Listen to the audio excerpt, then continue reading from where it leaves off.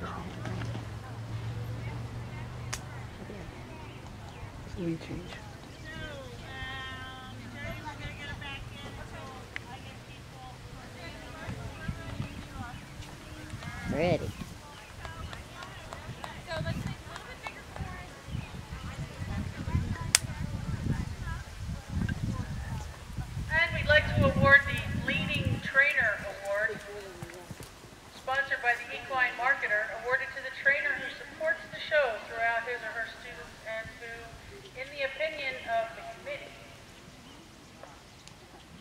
and the judges, displays good sportsmanship, cooperation at the end gates, and a positive attitude throughout the day.